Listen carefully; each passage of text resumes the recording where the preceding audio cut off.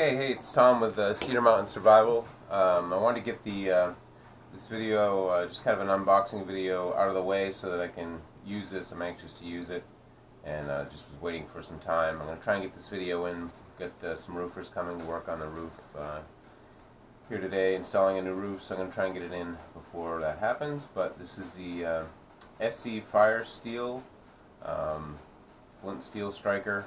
Um, made by ESEE's Randall's Adventure Training and Equipment Group. And um, I've seen some videos on this. Um, it's probably not going to be a lot to the unboxing. Uh, I'm going to do videos to see uh, how it works, but um, I have seen videos that seems like it uh, works pretty good. So uh, we're just going to, this is how it comes, just kind of in a plastic container.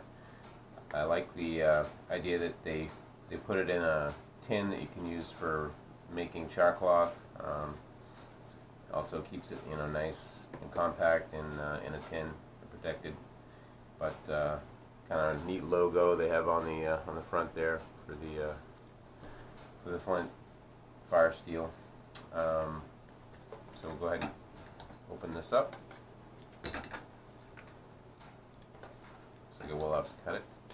This has, I don't want to cut it too much because it does have some uh, instructions on the back, uh, which I'll read, just some kind of basic knowledge type uh, information on a card in the back, which is, I guess, kind of kind of nice that they do that. You can stick that in a bailout bag or a, a bug-out bag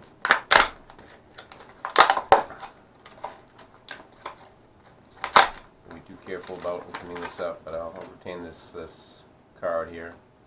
See what that's all about.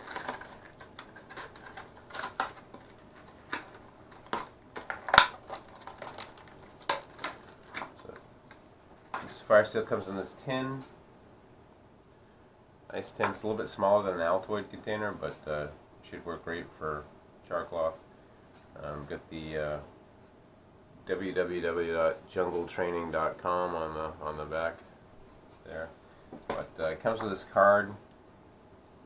It gives you some information. I'm not going to read uh, all this information, but um, determining distances traveled without a GPS on flat terrain, rough terrain, and steep rough terrain gives you some uh, pace indicators as to how far you've traveled uh, distance-wise, and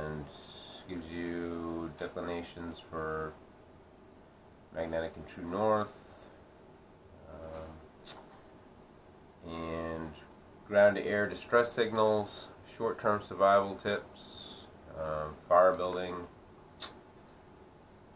instructions. It says uh, about the fire steel. The ESEE knives fire steel is built from 1095 carbon steel is heat treated to be used as fire making tool for the use with true flint, and charred material.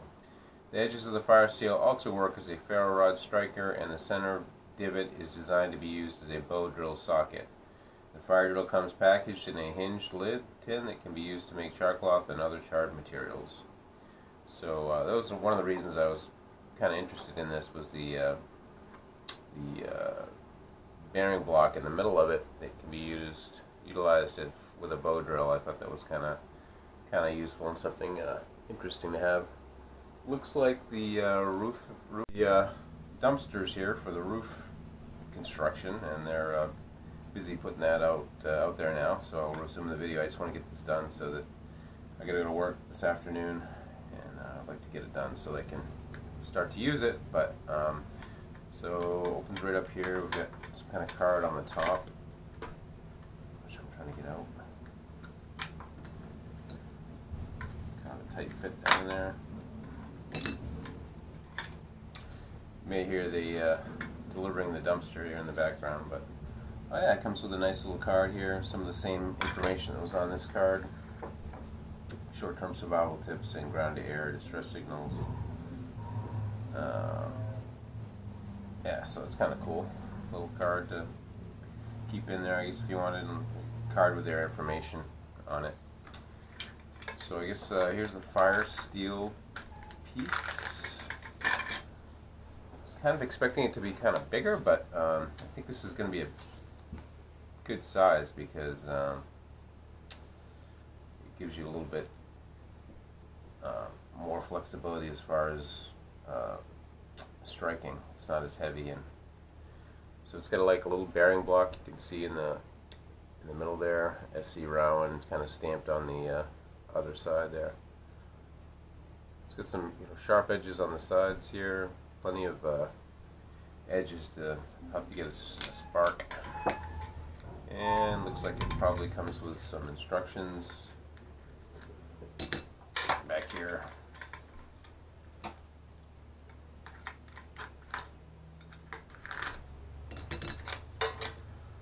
It comes with the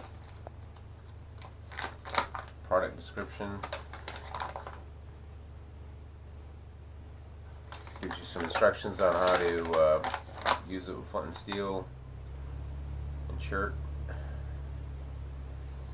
Uh, tells you how to use the uh, metal container for char cloth.